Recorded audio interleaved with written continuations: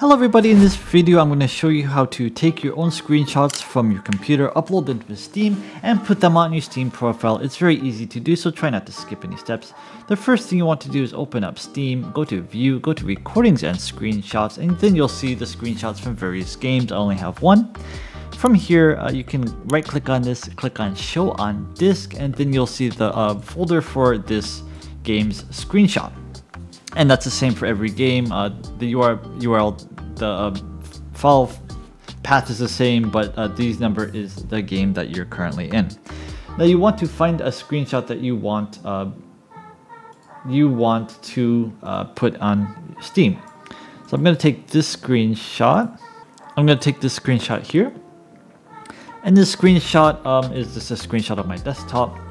Uh, now, what you want to do is uh, you want to name it uh, the same naming convention as uh, Steam. So that's year, month, day, hour, minute, and second, and underscore one. I'm just going to copy and paste. It, it, doesn't really matter, by the way, but I'm going to copy and paste uh, uh, the other screenshot.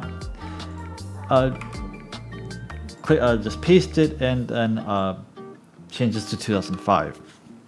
Okay. I'm going to make a copy of this by pressing holding down control and clicking and dragging this that will make a copy. I'm going to open up the copy. I'm going to say open with and open in uh, paint. Now from here I'm going to uh, resize this. Now click on pixels, click on 200 by 125. Click OK and click save. Now this is the thumbnail for this screenshot. By the way, this needs to be a JPEG, um, PNG, and other um, files may work, but they probably will not.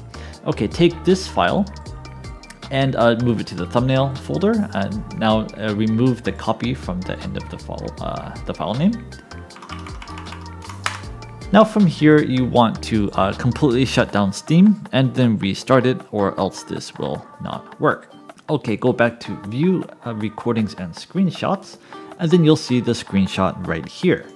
Now, uh, to put this on your profile, this needs to be public. So you need to right click on this, click on share, click on share on Steam.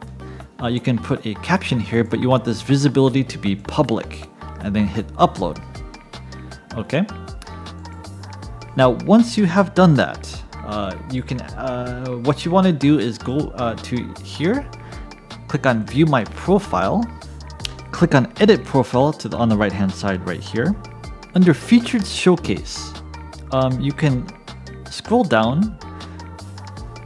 I have game collector right here. You can click on screenshot showcase. And then you have a couple of options you can choose from. You click here and then you can um, select what screenshots you want to share.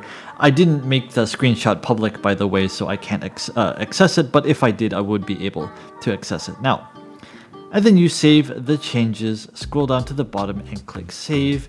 And that is it, that is how you do it. If this video helped you, leave the video a like and please subscribe. I really appreciate it. Have a nice day.